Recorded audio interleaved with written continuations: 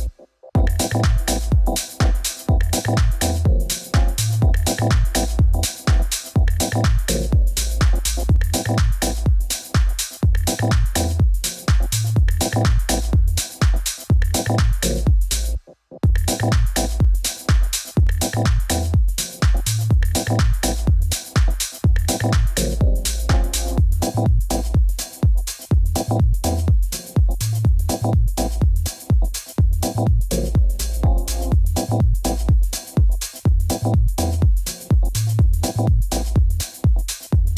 you